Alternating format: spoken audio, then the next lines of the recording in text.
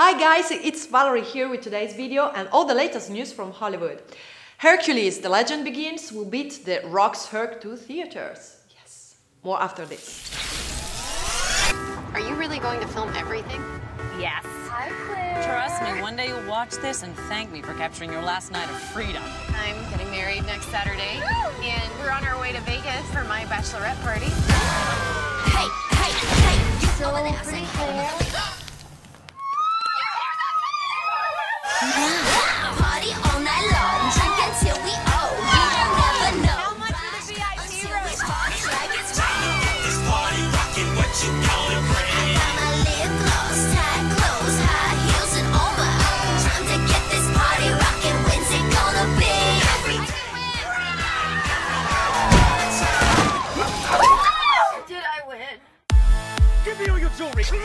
take the ring, too. He victimized us. And now it's time for a little payback. Let's get my motherfucking ring back. My back is up against the wall. I'm waiting, waiting for your call.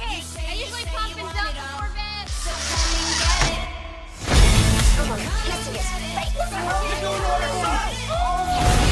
think it's time that we ditch the stolen vehicle. Pull over right now! Indefinitely. Take more pills. Come and get it. I know you want it.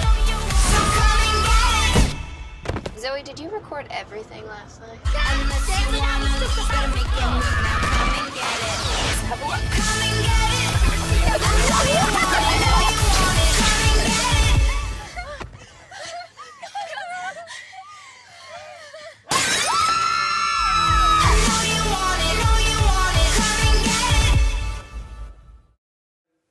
Millennium Films' Hercules The Legend Begins, starring Kellan Lutz, has been picked up by Lionsgate Summit Entertainment and will be released in the US in 2D and 3D on February 7th, 2014.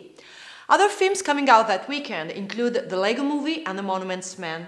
Additionally, this announcement puts Millennium's Herc well ahead of Brett Ratner's Hercules, starring Dwayne Johnson, which doesn't hit theaters until July 25th. Hmm, sneaky. That's all for today. Check out our website filmisnow.com for all your movie news and see you next time. Bye.